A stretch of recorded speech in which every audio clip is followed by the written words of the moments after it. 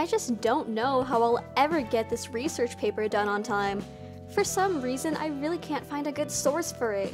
But if I don't finish this paper, then I won't graduate. And if I don't graduate, then I face a fate worse than death. Shame for my entire extended family. Whatever will I do?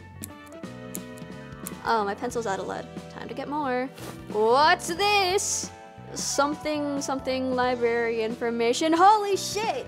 A new library? Exactly what I've been looking for. Let's go.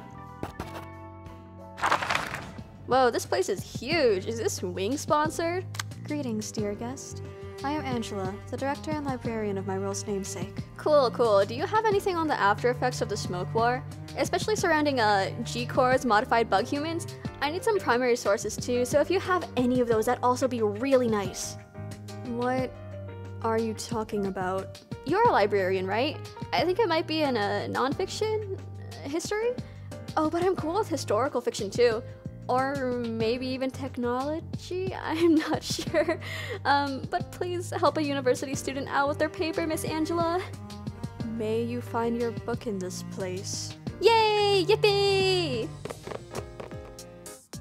Whoa, this place Pray is tell, funky. what is a Hey, university Do you know where I could find a And what is this Why are you paper they speak about? Why are you coming at me like that? I've never heard of these hey, terms wait a before minute, back that's my arm. I just wanted a book.